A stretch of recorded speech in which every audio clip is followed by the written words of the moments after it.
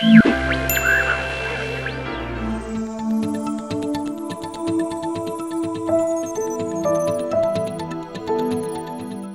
deterioro cognitivo es cuando empiezan a tener, sobre todo al principio, alteraciones de memoria. Y entonces el familiar empieza a notar que se le olvidan las cosas, que las guarda, que ya no sabe dónde, se le olvida, empiezan a tener problemas, por ejemplo, para manejar las cuentas, este, las cuentas de banco, el dinero, empiezan a desorientarse o a no reconocer a los familiares y entonces esto preocupa mucho a, los, a, la familia. ¿Qué es lo que pasa? Que es importante hacer un, diagnóstico diferencial porque hay diferentes tipos de deterioro cognitivo. Hay eh, la enfermedad, por ejemplo, de Alzheimer, hay otra, otra demencia que se llama frontotemporal y las alteraciones son diferentes.